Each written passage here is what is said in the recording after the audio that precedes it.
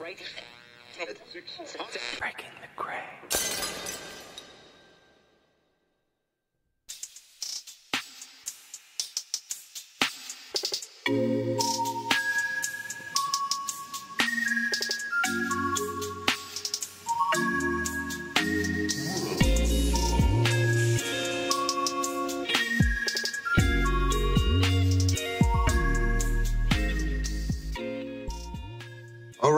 We are here again. We're back again. I, I cannot tell you uh, how excited I am for today's wonderful episode of Rebel Scientist with our incredibly talented, uh, probably one of the most important humans on the planet, Sarah Turner. How are you? thank you, Russ. Yes, very good. Thank you. Good, good. I was just reflecting on some of our past episodes around chronobiology and the the ticking the ticking clock within our bodies uh, and the mind and the body connection and saying how my how just my life has changed just over these last 10 12 weeks together uh, and i'm so excited for today's episode because i think we're going to be bringing another amazing person to this world Yes, indeed. We have a treat this week because we have my dear friend Dr. Marvin Berman who's going to talk to us. Amazing I promise. Well, there he is Here Hi. he is. dr berman how are you Good morning. I am fine here in chilly South Philadelphia. Well, Philadelphia is the the capital of of the uh, the old world of the United States, and uh, I, I'm curious to see how long have you lived in Philadelphia? I moved here from Greenwich Village in 1977. Wow. Well, you've had a couple of baseball and a football championship in there or two. Yes, absolutely. And lots of uh, traumatic brain injuries along the way. Yes, absolutely, absolutely. I think that's probably a great segue into our topic, Sarah. Uh, yeah, why don't you? I, I'd love to, you know, hand it over to you and let you and Marvin, uh, you know, talk about our wonderful topic today. Sure. Well, the reason that I wanted uh, Marvin to come and speak to us today was because we've we've spoke a lot about some of the theories behind like light and the brain and things you can do to kind of help your brain along. But um, Dr. Marvin Berman is uh, a special character because he's actually been doing the research into this field. So he- uh, he's the person who's going to have the most direct experience because I think sometimes the theory is very different to what you actually see in practice. And so if we want to know Right. what it's really like to do some of these things, you know, Marvin's the man we need to speak to. So what I would like you to talk about, Marvin, if that's all right, is one you know the research you've been involved in. But but more importantly you know what was your direct experience or or how did this actually work you know in real life? And i'm talking about the light and the brain in particular here but i know you've done a lot of different things. Sure. Well, um, my background around the light and the brain began with the uh, exploration of quantitative EEG and something called neurofeedback, which I think you've covered a little bit. not so much so if you just did a very quick summary I'll give you the, the back of the napkin. Neurofeedback is simply a form of biofeedback, which is the use of some form of measurement technology to quantitatively measure a physiological function and then provide feedback to the person about that function. So, with heart rate or blood pressure or skin temperature, you would be getting very direct measurements, and you could then modify your own physiological functioning in some way by getting this feedback. And the learning process then allows you to gain what would be considered instrumental control over what ordinarily is thought to be autonomic functioning, but then becomes clear that it's not, and that we really can gain control over physiological functions uh, using some form of technology to give us some some guidance. So, what happened originally with biofeedback was that people were using peripheral measures, And then in the late 50s, early 60s, they started to recognize that you could also gain some measure of control over central functioning or brain activity by monitoring electroencephalograph or EEG activity of the brain's electrical firing uh, by measuring it with electrodes that are placed on the scalp. And I was barely aware of any of that in, in my clinical practice until I met someone who was doing this brainwave biofeedback training. And it became very helpful to me in my practice as a psychotherapist. So the idea was to monitor the brain activity and then compare that activity to norms that had been established in a normative database by age and gender. And we could then use operant conditioning or reward conditioning to give people feedback about how their brain activity was going and move it more toward what was considered normal. Mm-hmm. So, so that's the that's the general back of the napkin idea. Okay, so so how then did you get involved in this kind of fairly out there concept of shining light into people's brains? Well, it turned out that when we started doing research on the neurofeedback, we looked at neurology's data and saw that they had become very clear on what happens to people when they develop dementia and that the slow wave amplitudes the, the slower brain waves the uh, voltage of those went up and the faster brainwave voltages went down as people became more demented. And we started doing research along those lines. And in the middle of that research i got an email from one of the subjects husbands and the subject line was what the hell is this and I looked and opened it up, and it was a cover photograph from the Daily Mail in London in two, mm-hmm. 2008. And I was like, well, this, this guy is like a research scientist. What the hell is right. he doing reading the Daily Mail? I mean, really, like the Daily, you know, it's like the National Enquirer. Anyway, we know what the, yeah, we all it's a very auspicious journal up to. in England. On. I get, I get, but this wasn't even like a naked lady or Princess Di. Anyway, I, I know what you mean.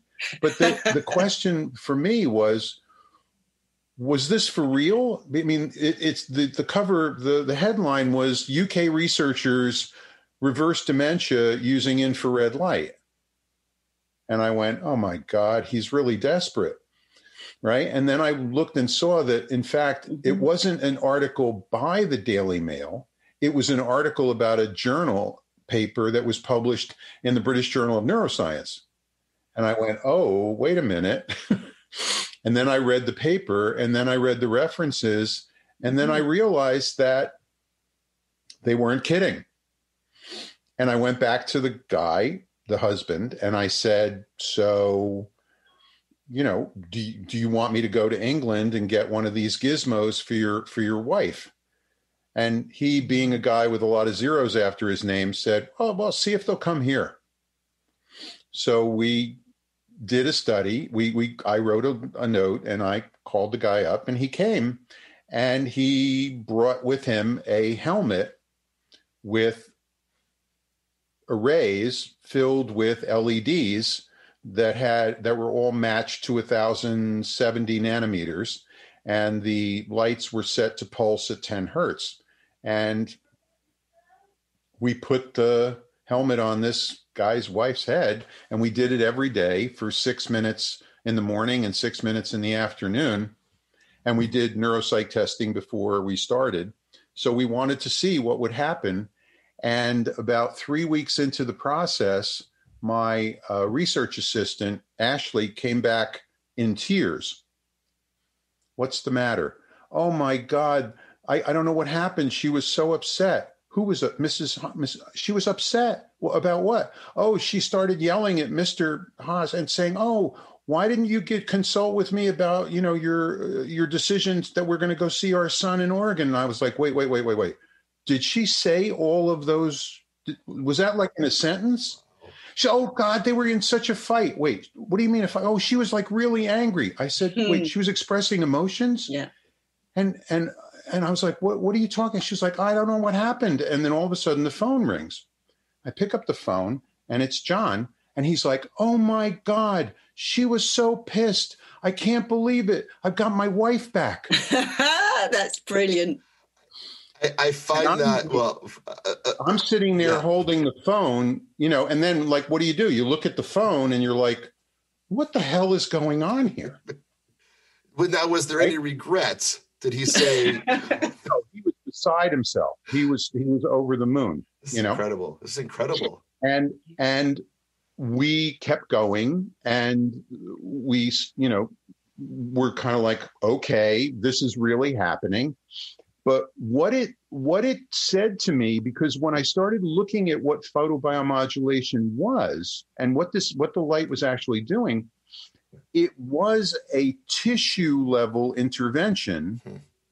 into the pathology that was taking place it wasn't it wasn't biofeedback because one of the things we found with the biofeedback research was that yes, you could retrain people's EEG activity. You could train people to decrease slow wave amplitudes and increase fast wave amplitudes. And yes, in fact, they did improve on their neuropsychological measures. And that was great. But what we were actually doing was modifying the slope of decline. We weren't stopping anything. Mhm. Yeah. And that became, you know, that was like, okay, so this is kind of a half a loaf solution. But when we saw what was happening with this woman, and we could see that it was, and we saw that what photobiomodulation was actually doing was increasing ATP, incre- decreasing phosphorylated tau, A beta 42, these other neurotoxic chemicals, and that we were actually improving the the capacity for microcapillary perfusion so more oxygen was actually getting to the furthest reaches of the cortex Yes, blood flow. For those not up on their terminology, yeah. you're I- I'm increasing the catching blood flow. Yeah, I'm catching up here, Marvin. My job is to play the dummy, and because I am, oh uh, and to it's to dumb this down for the too audience I here. too many funny words okay But but I, back, I, back I me up. it, but Back but I, up. I, I think in that case, this this is a a very high dosage of light uh, that's applied via a helmet, right? And Yes. um, and it increases the blood flow, and it's a tissue level thing. So yes uh, how how I mean, how much more light are you giving somebody than you than than going outside and being in the sun?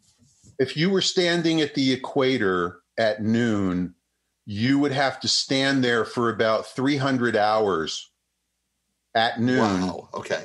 to, to get what you're getting in six Okay. minutes Okay. Wow. So uh, for the for the listeners, uh, let me let me let me do it this way. Um, you go to the beach, you lay on the beach for the day.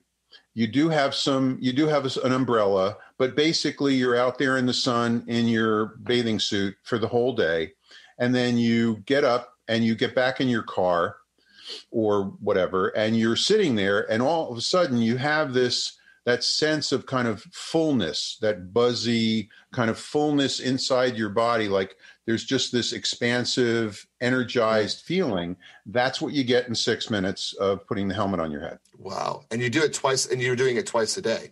Twice a day. Yeah. Well, twice a day for people with the kind of moderate level of, you know, neurodegenerative disease that this person had. And, and when was want- this? Uh, when, when was this? When did this? When did you first? 2008. Okay, so now you're 13 years in. What are some of what are some of the things that you've adjusted since then? Well, thank you for asking. Um, we have now worked with the idea of intraocular stimulation. We've also seen that intranasal stimulation can have its own positive effects, but we also want to be able to now modulate the turning on and off of the lights, the speed at which the lights get turned on and off because that has a very different effect on the brain and the brain wave activity. Uh, the term is has the term entrainment been used? No, no, you can explain So- it though. We're, we're Yeah. kind of making sure we. So um, Is that, being a good, is that being a good husband?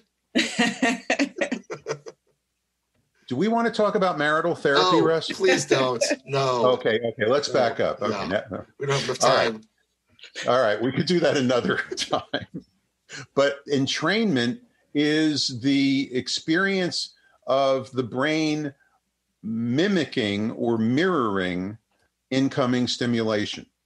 So if we take a light source uh, and we place it on the scalp surface and we pulse that light source at 10, 10 times a second, and we then hook somebody up with an EEG so we can measure their brain electrical activity, we'll see that the 10 hertz activity starts to propagate across the entire cortex in response to that pulsation of light.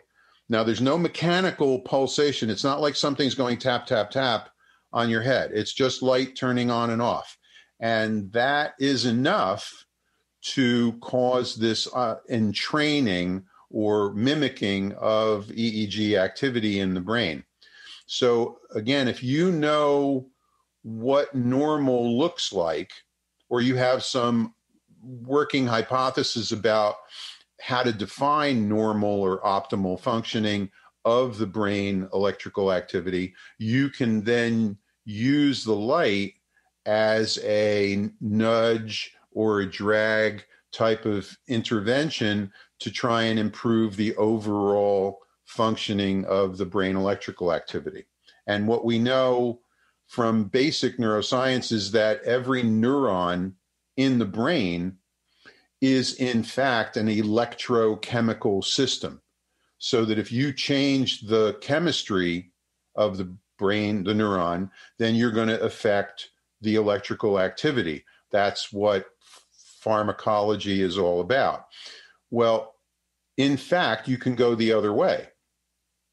You can influence the electrical activity, and that's going to have a very direct ex- if, impact on the neurochemistry. Now, which way you can make more money and rule the world, well, that's, that's a whole other deal. The, But- and, and there's a preciseness. Is, is there a preciseness now where extraordinarily yes extraordinarily and and i think for me that was really very attractive because instead of having to flood the brain with certain kinds of chemicals you could very much target and now we're seeing the intersection of these two fields with optogenetics where where you're now able to put chemicals drugs into nanoparticles that are then injected into the body. And when they reach the site, the cells that you want to affect, you can then turn on an infrared light and activate the nanoparticle to release the drug at exactly where you want it. oh my gosh, Yeah. wow. But one of the main benefits of this therapy at the moment is that you don't need to have the drugs. You know, it is a Right.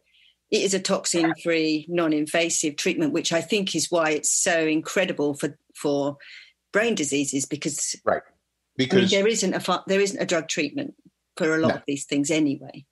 well, not an effective one. Mm. And with 500 plus drug trials behind us in the in the in the trash can, we know that single molecule solutions for things like neurodegeneration and neuropsychiatric conditions and neurodevelopmental conditions are, you know, either a long way off or hey, take a hint. This is not the way to go. So, so the, and and and so this is. Um, uh, are, are there ways to be proactive with this? Is that if you start at a younger age to Yeah. maintain the you know they maintain the you know your your your your brain in the form of a 25 well not 25 let's say more like 35 right 25 you're still wanting to jump out of planes let's say 35 where you've got some rational You're thinking giving your age away, Russ. oh boy i'm much older than that So exactly. so, uh, but it's a great question because um, we certainly saw that this would be an optimal model for prevention, but in in scientific work and in the kind of academic medicine, you really can't use the P word until you've been able to demonstrate the T word. So you can't really Yeah. talk about prevent until you can talk about treat. Mhm. So we we took that up seriously and said, okay, so now let's show that you can in fact treat neurodegenerative processes by using a combination of non-invasive, non-pharmacologic interventions. Let's see if we can actually stop the process of neurodegeneration and maybe even reverse it and maybe even stabilize whatever level of recovery we can with a combination of photobiomodulation, neurofeedback, and functional medicine. Once we can demonstrate that, then we can start to say, hey, you know what? If you took a picture of your retina with an OCT, which is a typical optical coherence tomography kind of image that you can get in any ophthalmologist's office, if you took that picture and you analyzed it a particular way, you could then measure the beta amyloid load in the retinal tissue. And that would allow you to predict the onset of dementia 10 to 15 years ahead of symptoms.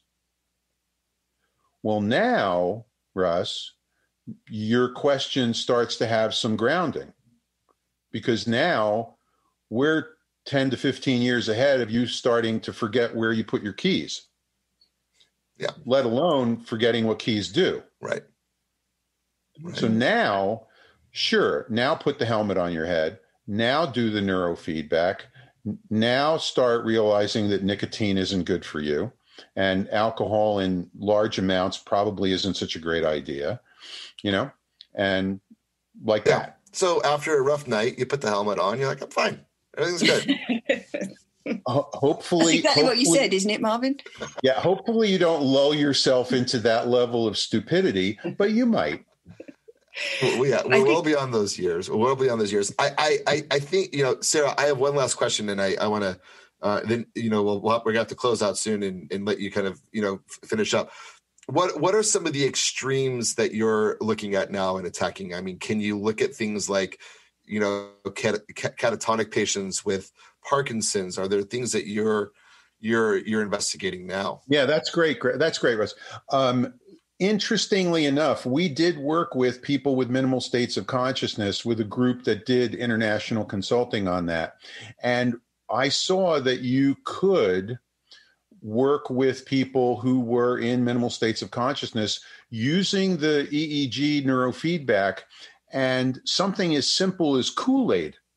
I mean, just dropping Kool Aid into somebody's mouth when their alpha activity started to increase. Margaret Ayers, who was one of the people who did that back in the 90s, she was able to bring a number of people out of long term coma just by operantly conditioning and improving their level of peak alpha activity. So, yeah, that is a, a real possibility. If she had had the photobiomodulation tools, I think we could have gotten even further with that. And it's something we certainly want to look into. Um, as far as Parkinson's go, um, we just finished a trial with our research partners at um, Baylor Research Institute, which is part of Baylor Scott and White Hospital in uh, Temple, Texas, within the Department of Neurosurgery. We were working with the chair there, Jason Huang, and he and I divided up 100 subjects between us, and he did 60 and I did 40 where we gave people this infrared helmet thing and we sent them home with the device. And we had them using it at home on their own twice a day for six minutes. And we then had quantitative EEG and other measures beginning, middle, and end. And what we saw, interestingly enough, is that the population that they used in Texas was drawn from a regional movement disorder center. So everybody had a dual diagnosis of Parkinson's and dementia. I didn't do that. I have just dementia, folks. But the point is that when the caregivers gave their reports at the beginning, middle, and end, what they were reporting was an improvement, yes, in memory and cognitive functioning, but also mood, facial expression, gait, balance, and engagement with other people. So we were seeing motor changes, and I've seen motor changes in bradykinesia or muscle stiffness and also gait, walking up and down. We did a video measurement of walking up and down the hall for 10 meters. Sarah was around for that. Mhm. And we've seen the, them improve somewhat. I mean, not, you know, not totally, but we were only doing it for two months. So it really was improvement in both the motor functions and the cognitive functions. So we're we're encouraged that this is an intervention at a very basic level of neurophysiology, and that anything that's mediated by the central nervous system is then going to improve. So cool, Marvin. Um, well, we, we're going to end up now, which is a shame because we could go on forever talking about this because I know there's so much more to what you've done. But let's end on because I know a lot of people are going to ask, how do they go about doing this? You know, if somebody out there is listening and they wanted to use some of these techniques or, you know, how, how Well- would you go about doing it, especially if you want to prevent these illnesses? Right. Well, we're certainly happy to talk to people about how we do it. And they can go to the QuietMIND Foundation website and check out what we do and the tools that we've tested that we know work. But I mean, there are the people in, in New Zealand. I mean, the guy who put the LEDs inside Yeah. of a bucket. The buckethead people, yeah, the bucket people. I mean, there's there's a huge range of people that are doing this and with all kinds of devices. And I think that you know it really it really is simple in its in on its face, but I think it really bene- people benefit from getting some kind of professional consultation about how best to use these devices because where you place it, how long you use it. I mean, it's really easy to overload yourself. There is a sweet spot Yeah. of about six to eight minutes, and you don't want to underdo it, and you really don't want to overdo it if you want to get the benefit. So really get get a, a consultation, find out which device is best, Yeah, get a little bit of coaching, and then uh, really there are a lot of devices on the market that are. Oh my goodness! Well, yeah, there are there really are, and uh, it's it can be it can be bewildering for people, even me. I mean, it's bewildering, and thank God I've had you to talk to about all of this. Likewise, Marvin. Uh, yeah, Dr. Berman, where can people find out about all of this amazing stuff that you're doing? Uh, we're at we're at quietmindfdn.org. So that's the word quiet, the word mind, and then F is in Frank, D is in dog, N is in Nancy dot org. And um, I'm I'm here in Philadelphia, and uh, now that I've scaled back my practice so that I can change diapers for my new granddaughter Fela, um, I'm around. So give me a call. Well, we'd love to have you back. Lovely. Congratulations on the new Thank granddaughter, you. On uh, putting light and bringing light on the subject of dementia. Uh, amazing. Uh, and uh, say hello to Philadelphia for us. A- absolutely. We can do, and we can do part two sometime down the road. Absolutely. Thank you, Marvin. Thanks. That's super cool. Take Okay. care. Take care. Bye, guys. bye bye. Well, Sarah, we're, you know, uh, just to remind the audience, we're doing a seven day challenge. Uh, and the seven day challenge is based on Sarah bringing her friends, her rebel friends to our podcast and we're chatting with them. And then we take on this challenge. Um, so for the last week, we talked to Marvin. He is a, an, a scientific expert, uh, in using red light for some pretty, some pretty interesting therapies. Uh, a little bit tougher this time to do a seven day challenge, but you are a red light expert. So I think it's it, it- probably a great chance for us to talk about some of the red light therapies that, that we can do in our day, in our daily, um, our, our, our in our daily, uh, work. It sounds like you need a little bit of red light there, Russ. I do. God, I can get that out there. You're kind of winding down. Yeah. Yeah, man. The system just shut down. I was like, give me some red lights. I can turn this thing back on. I got to solar power this up. I've got this brilliant. Weirdly enough, I have got a brilliant light that it's called a Nirax band that you put around your head, and then it has apps on the phone, and you can choose what you want your brain to do. So Oh, focus, concentrate, memory, libido, anti-stress. I think so. You just put the band on, and then you select what it is you want, and off it goes. Uh, what's it called? Nirax. It's called a Nirax band. Okay, okay. Nirax band. Let's let's I, let let so let's talk through this. You you go you have a daily regimen that you go through with red light. Yeah, this one was easy. This was an easy challenge for me because this Yeah. I have got tons of this kit.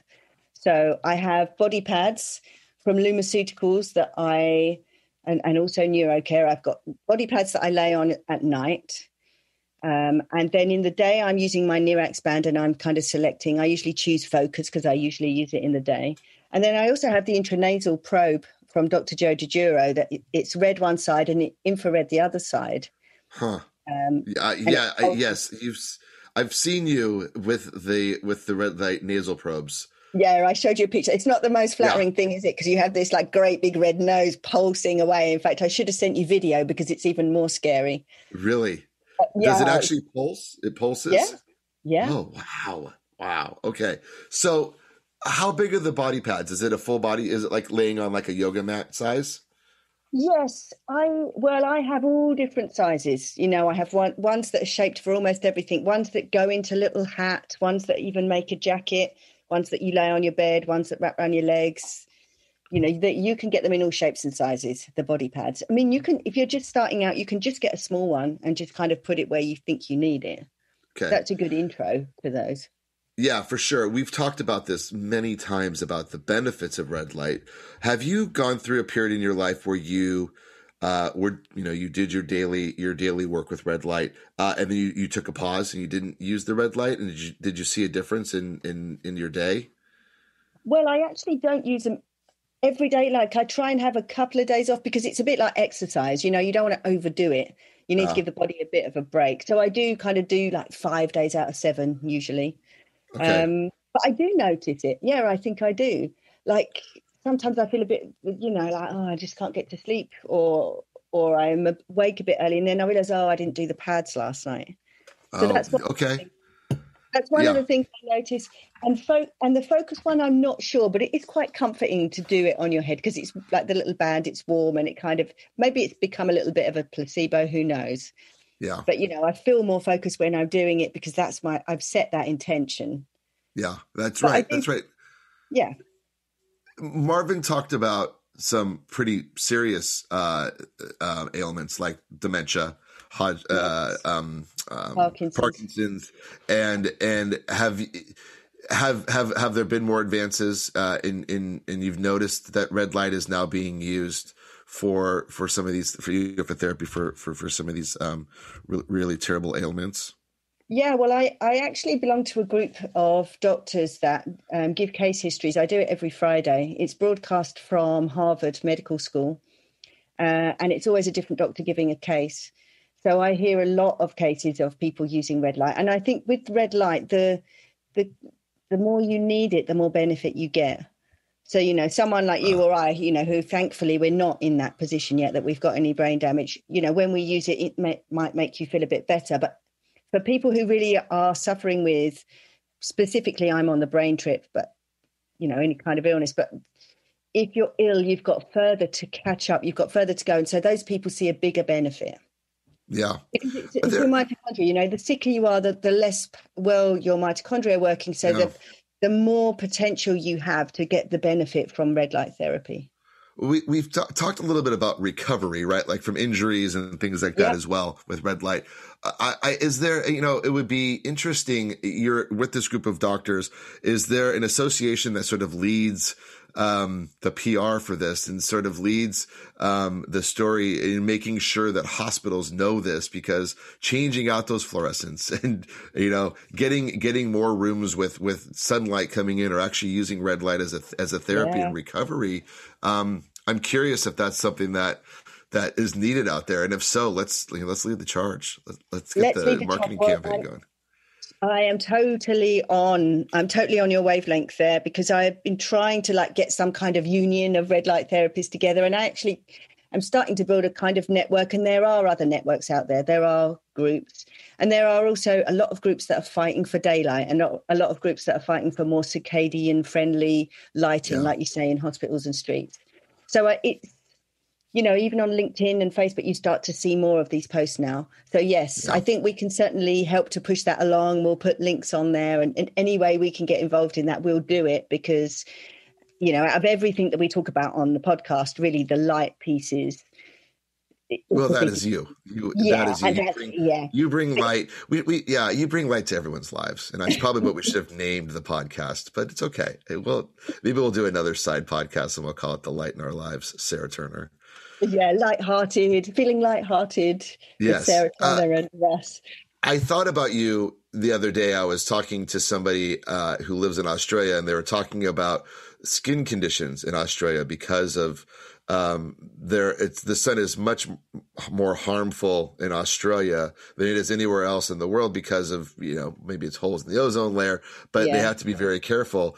Are are there are things that you notice regionally with something like that when you live in somewhere like in Australia where the sun is actually a little bit more dangerous. We've talked about the fact that you know getting early red light, sunrise uh, red light is actually a therapeutic, and it actually helps um, with with uh, you know preventing skin cancers and such. But are there things that you do in in that are regional in, in focus?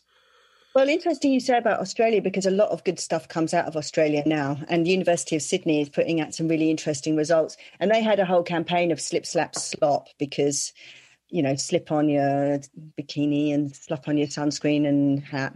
But actually, I think it's a bit misleading because that now they're finding it's because they had a lot of people who were just going out in the midday sun. And you're right, they do uh-huh. have problems with their ozone, but now they are starting to embrace red light as a way to prepare the skin for that for that UV radiation. And so this messaging, you know, may not have been so accurate and may have led people to, you know, avoid the sun. So now they're having vitamin D deficiencies and things in Australia. So yeah, it's a it's great a way to sell. It's a great way to sell beauty skin products.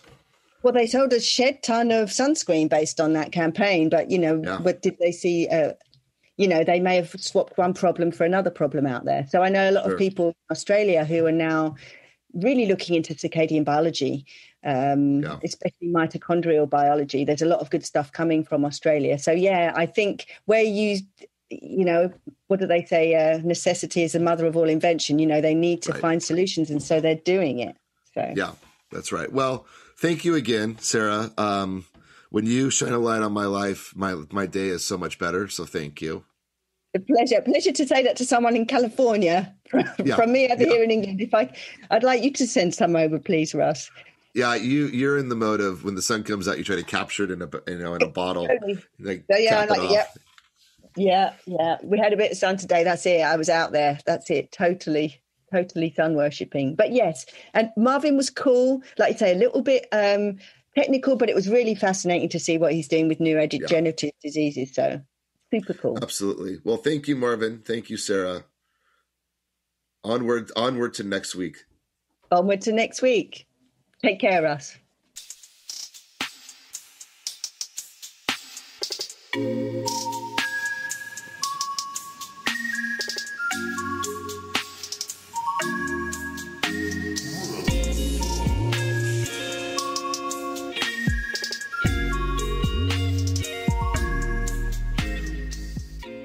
The Rebel Scientist podcast is a Breaking the Grey production, created by Russ Eisenman and Paul Wood, hosted by Sarah Turner, music and sound editing by Logan Shea. For more information and other fantastic podcasts, visit breakingthegrey.com. That's grey with an E, breakingthegrey.com. Breaking the grey.